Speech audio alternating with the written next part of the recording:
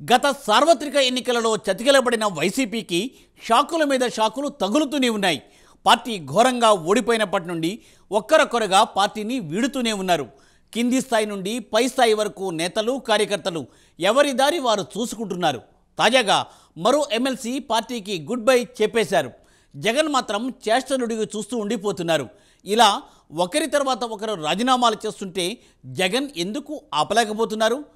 అసలు వైసీపీలో ఏం జరుగుతోంది? డీటెయిల్స్ ఈ స్టోరీలో.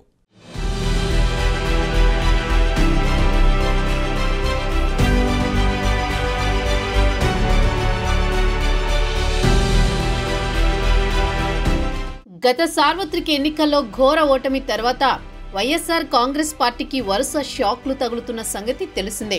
ఇప్పటికే కొందరు సీనియర్ నేతలు పార్టీకి గుడ్ బై చెప్పి ఇతర పార్టీల్లో చేరుతున్నారు. మరికొందరు నేతలు సైలెంట్ అయిపోయారు. అయితే తాజాగా వైసీపీకి మరో షాక్ తగిలింది. ఎమ్మెల్సీ జయమంగళ వెంకటరమణ వైఎస్ఆర్ కాంగ్రెస్ పార్టీకి రాజీనామా చేశారు. అలాగే తన ఎమ్మెల్సీ పదవికి సైతం రాజీనామా చేశారు. టీడీపీ నుంచి వైసీపీలో చేరిన జయమంగళ వెంకటరమణకు జగన్ ఎమ్మెల్సీ ఇచ్చారు. మత్స్యకార సామాజిక వర్గానికి చెందిన జయమంగళ వెంకటరమణ ఉమ్మడి కృష్ణా జిల్లాలోని కైకలూరు నియోజకవర్గానికి చెందిన రాజకీయ నేత. జయమంగళ వెంకటరమణ కైకలూరు నియోజకవర్గం నుంచి రెండు వేల తొమ్మిదిలో టీడీపీ అభ్యర్థిగా పోటీ చేసి ఎమ్మెల్యేగా గెలుపొందారు. అయితే రెండు వేల పద్నాలుగు ఎన్నికల్లో టీడీపీ బీజేపీ పొత్తులో భాగంగా కైకలూరు టికెట్ను బీజేపీకి కేటాయించగా కూటమి అభ్యర్థి గెలుపు కోసం పనిచేశారు. రెండు వేల పంతొమ్మిదిలో కైకలూరు నియోజకవర్గం నుంచి టీడీపీ అభ్యర్థిగా పోటీ చేసి ఓడిపోయారు.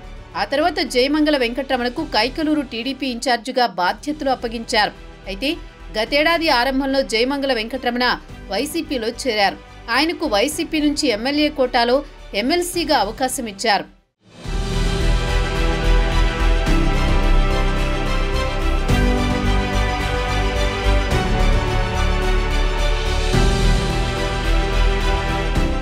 రాజీనామా చేసిన జయమంగళ వెంకట్రమణ జగన్పై ఘాటైన వ్యాఖ్యలు చేశారు. జగన్ సీఎంగా ఉన్నప్పుడు తన నియోజకవర్గ సమస్యల గురించి మాట్లాడేందుకు వెళితే అపాయింట్మెంట్ ఇచ్చేవారు కాదని చెప్పారు. ఏదైనా ఉంటే సజ్జల రామకృష్ణారెడ్డి ధనుంజయ రెడ్డి లేళ్ళ అప్పిరెడ్డితో మాట్లాడుకోమని చెప్పేవారని తెలిపారు.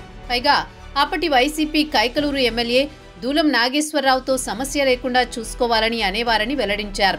పార్టీ అధికారంలో ఉన్నప్పటికీ ఏ కార్యకర్తకు కూడా పని చేయించుకోలేకపోయానని పేరుకే తనకు ఎమ్మెల్సీ పదవి ఇచ్చారని కానీ పవర్ లేదని పేర్కొన్నారు.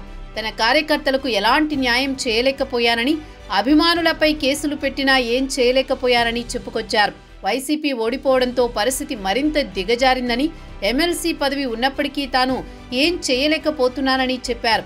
ఇప్పుడు తనపై వైసీపీ ముద్ర ఉందని పార్టీని వీడితే తనను అంతా గౌరవిస్తారని తెలిపారు. మాజీ ఎమ్మెల్యేగా మాజీ ఎమ్మెల్సీగా ప్రజలకు సేవ చేసుకోవాలని అనుకుంటున్నానని చెప్పారు. కృతజ్ఞత సమస్యల మీద వెళ్తే మాత్రం ఒక్కసారి కూడా అపాయింట్మెంట్ ఇవ్వరు.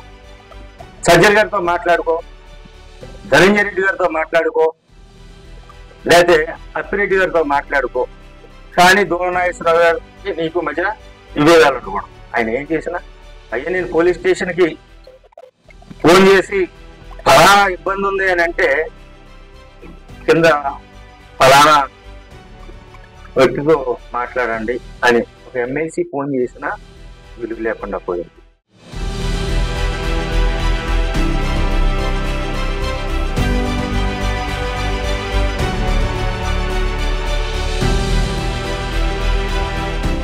జయమంగళ వెంకట్రమణ మాటల ద్వారా జగన్ అసలు నేతలను పట్టించుకునేవారు కాదని తెలుస్తోంది.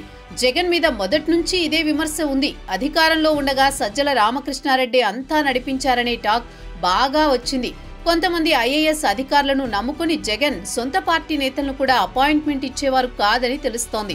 మరోవైపు ప్రజాప్రతినిధులు కూడా అధికారం లేకపోతే ఇక రాజకీయ జీవితమే లేనట్టు భావిస్తూ అధికార పార్టీలోకి జారుకుంటున్నారు. ఇది ఇప్పుడేం కొత్త కాదు. ఎప్పటినుంచో భారత రాజకీయాల్లో జరుగుతూ వస్తోంది. మన తెలుగు రాష్ట్రాల్లో కొంచెం ఎక్కువగా జరుగుతోంది. పార్టీలు కూడా అలాంటి వారికే టికెట్లు ఇస్తున్నాయి తీరా పార్టీ ఓడిపోతే తట్టాబుట్టా సర్దేసుకుంటున్నారు. అయితే వైసీపీలో ఈ ధోరణి ఎక్కువగా కనిపిస్తోంది. దీనికి కారణం అధినేత జగనే అని అందరూ చెబుతున్నారు. బాలినేని శ్రీనివాసరెడ్డి సామినేని ఉదయభాను లాంటి వాళ్ళు ఎన్ని ఒడిదుడుకులు వచ్చినా వైఎస్ కుటుంబాన్ని అంటిపెట్టుకుని ఉన్నారు. ఇటీవల అలాంటి వాళ్ళు సైతం జగన్కు దూరంగా జరిగారు. వైసీపీని వీడి జనసేనలో చేరారు. అయినా అధినేత జగన్ నిమ్మకు నీరెత్తినట్లు ఉండడం పార్టీ శ్రేణులకు సైతం అర్థం కావడం లేదట.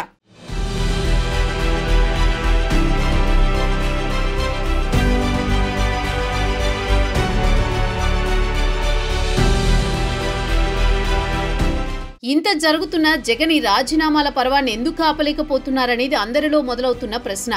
నేతలను బుజ్జగించడంలో జగన్ ఫెయిల్ అవుతున్నారా? గతంలో తాను వ్యవహరించిన తీరుకే నేతలు ఇలా చేస్తున్నారని మదనపడుతున్నారా? ఇలాంటి ప్రశ్నలు ఆ పార్టీ శ్రేణులను సైతం వేధిస్తున్నాయి. అధికారంలో ఉన్నప్పుడు కొందరు నేతలు కన్ను మిన్ను కానకుండా ప్రవర్తించడంతో పార్టీ ఘోరంగా ఓడిపోయింది. వైరిపక్షాలను ఎంతో తక్కువ చేసి మాట్లాడడం ముఖ్యంగా జనసేనాని పవన్ కళ్యాణ్ను ఘోరంగా విమర్శించడం చేశారు. దీంతో ఈసారి ఎలాగైనా వైసీపీని గద్దె దింపాలని భావించిన పవన్ కళ్యాణ్ టీడీపీతో సైతం జత కట్టడానికి వెనకడుగు వేయలేదు. మరోవైపు బీజేపీ ఎంత వద్దని చెప్పినా ఎన్డీఏలోకి టీడీపీని సైతం తీసుకొచ్చారు. దీంతో వైసీపీ ఒక్క బోర్లా పడింది. వైసీపీ పవన్ కళ్యాణ్ పట్ల అవలంబించిన శైలిని ఇష్టపడని కొందరు వైసీపీ నేతలు వైసీపీని వీడి జనసేనలో చేరారు. వాళ్ళకు జనసేన టికెట్స్ కూడా ఇచ్చింది. ఎన్నికల అనంతరం కూడా ఇలాంటి నేతలు వైసీపీని వీడి జనసేనలోకి వచ్చారు. ఇంకా రాబోతున్నారని సమాచారం.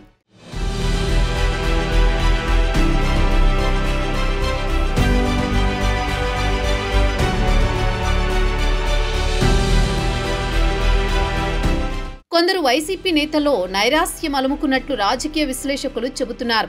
వాళ్ళందరూ పార్టీని వీడుతున్నారని చెబుతున్నారు. జగన్ సైతం వెళ్ళే వాళ్ళను ఆపలేకపోతున్నారు. అధికారంలో ఉన్నప్పుడు పలకరించని అధినేత ఇప్పుడు రాజీనామా చేస్తుంటే మాత్రం పలకరించడంపై నేతలు అసంతృప్తితో ఉన్నట్లు తెలుస్తోంది. అందుకే జగన్ చెప్పినా పార్టీని వీడిపోతున్నారట. మరోవైపు మండలిలో కూటమికి అంతగా బలం లేదు. దీంతో సమావేశాలకు వైసీపీ హైజాక్ చేస్తోందనే ఆలోచన కూటమి నేతల్లో కలుగుతోంది. అయితే ఇప్పటికిప్పుడు మండలిలో కూటమికి మెజారిటీ వచ్చే పరిస్థితి లేదు. అయితే రాజీనామా చేసిన స్థానంలో ఎన్నికలు జరిగితే మాత్రం కూటమి నేతలు విజయం సాధించే అవకాశం ఉంది. ఈ నేపథ్యంలో ఇంకా కొందరు వైసీపీ ఎమ్మెల్సీలు కూడా రాజీనామా చేసేటట్లు అడుగులు వేస్తున్నట్లు సమాచారం. చూడాలి మరి. రాబోయే రోజుల్లో వైసీపీలో ఏం జరుగుతుందో